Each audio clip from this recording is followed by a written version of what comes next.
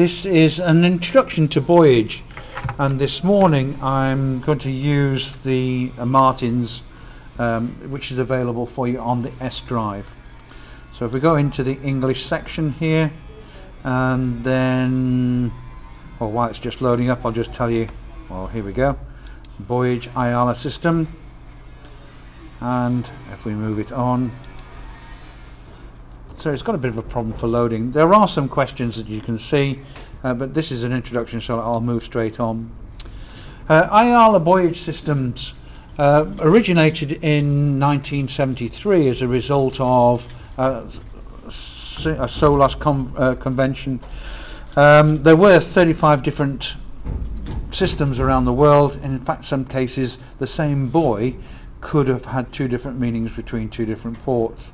So as a result of accidents and collisions at sea uh, we decided to have a convention and come down to one particular system.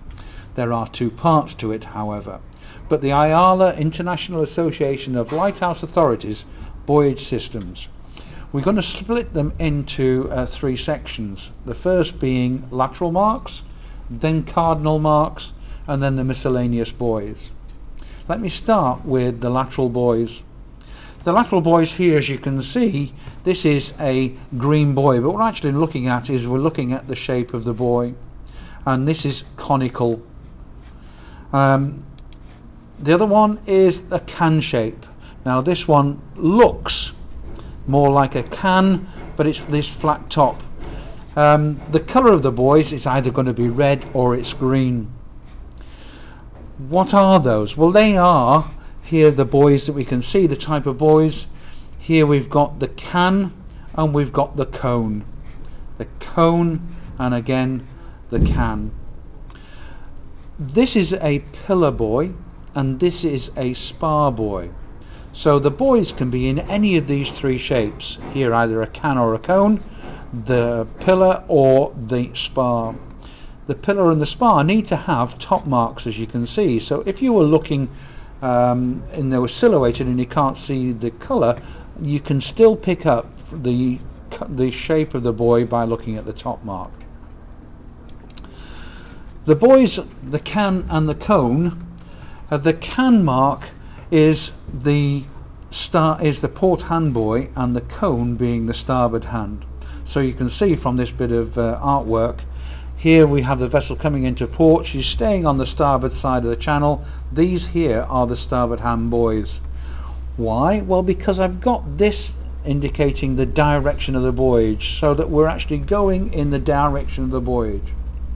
So alternative as the vessel comes out and leaves port then you'll see that this port hand buoy now becomes the starboard hand buoy because I'm coming out of buoyage because I'm going against the direction of buoyage pretty cool artwork isn't it? Yeah. Actually there's four million pounds worth here.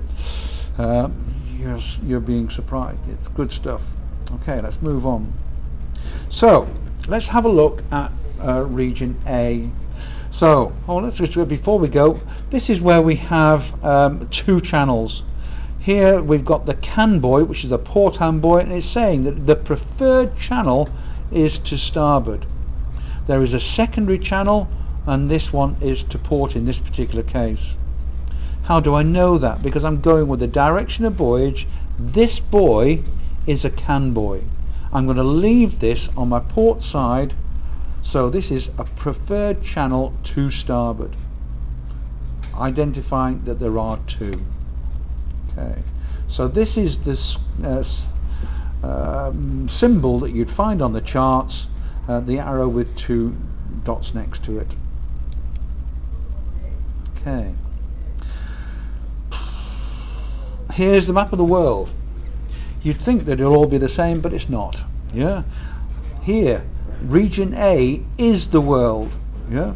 And this is uh, the vast majority. However, uh, there is an American influence and the American influence is this section which is region B so the Americas and we've got Japan Korea and the Philippines so Korea being South Korea um, these areas are the American influence and they're called region B but it's easier to say the world is region A and region B is that with the American influence. The direction of buoyage is that it moves clockwise round the continents. So the buoyage is moving in this direction and as we start to move up the Atlantic it's moving in this direction. But it always flows into port. If we're on the American side then it comes down uh, the Atlantic and then back up the Pacific. Okay, let's see how that applies to us for region A. Region A is for the lateral buoys then it's a can-shaped mark and it's a cone-shaped mark. We keep red to port and green to starboard when I'm going with the direction of buoyage. Just like the vessel's lights, side lights, red on the port side, green on the starboard side. A power-driven vessel has to stay to the starboard side of the channel when she's going with the direction of buoyage. Here, the vessel coming out of port is going against the direction of buoyage. And she also is staying to the starboard side of the channel. So by day, we can look at the shape of the buoys and the colour of the buoys. By night, surprisingly, these green buoys have a green light and the red buoys have a red light. So, the Rhythm of these lateral buoys can be any rhythm, isophase, long flash, short flash, quick flash. Uh, it can be anything other than composite 2 plus 1. The mariner as she goes into port would keep an idea in his head of the passage plan which would indicate which buoys or which rhythm each of the buoys represent. So let's see. So here is the port hand buoy as we said, here's the can-shaped buoy, here's the pillar-shaped buoy but with the top mark, and this is the spar with the top mark. How does she look by night? Well, here's the flashing light, red in colour, any rhythm other than composite 2 plus 1. The starboard hand buoy, green in colour with a cone. So this is the cone by day. She, if she carries a top mark, it would be a cone. Here where the pillar or the, uh, the pillar or the spar, they need to carry this top mark. Their lights, surprisingly, are green. Anything other than 2 plus 1.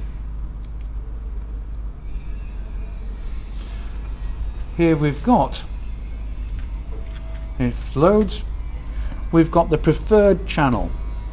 Red in colour, region A, port hand buoy. Again, so what we're saying is that there is two channels at this particular junction. The main channel, the preferred channel, is to starboard when I'm going with the direction of buoyage. However, there is a secondary channel going to port. As the vessel comes through, you can see that this is a port hand buoy and when I'm going with the direction of buoyage, I need to leave it on the port hand. By night, you can see that here are the green and the red buoys and this one here is a composite 2 plus 1 so here we go. 1 2 and 1 and then repeated 1 2 and 1 okay this combination is just primarily for this buoy. here we look, buoy, as you look at it, she's a red can with a green stripe in region A. The light, come on, quick flash, a composite 2 plus 1. As we load up the next section, this will take us through the preferred to port, a green cone indicates that the main channel is to port and I'm going to leave this on my starboard hand when I'm going with the direction of buoyage. For the MCA orals they'll tend to put you going against the direction of buoyage. Why? Because they're tricky, that's why. Okay, so actually what does it look like at night? Again here's the flashing lights and again it's a composite 2 plus 1. What does the buoy look like? A green cone with a red stripe. Region A, star starboard hand buoy, preferred channel to port. Okay, let's have a look at Region B. Region B being the American influence. We're very fortunate that the Americans agreed with us and kept the same shape. Uh, so can is to port and cone is to starboard.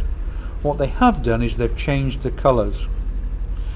The beauty in these situations is that if you look at the shape of the buoy, then that will tell you, A, if you're going with the direction of buoyage, which hand to leave it on. So, the Americans, if I can give you some sort of reason, is that the Americans seem to think, and rightly so for them, that the river, that the water flows out of a channel as opposed to into a channel whereas the rest of the world decide that oh, you're going into port for the first time, it's the first time you're going to see it. And also it saying follows the same convention of red on the port side and green on the starboard. Americans are just funny. What we can say to you though is if you've got a red buoy, it's a red light. And if you've got a green buoy, it's a green light. So you as navigators, particularly because you're from Fleetwood, would understand, yeah, that you should know where you are in the world and where the regions are. You should also know whether you're going into port or coming out of port. These lateral buoys are only used in sight of land where it can be clearly seen whether you're actually going into port or coming out of port.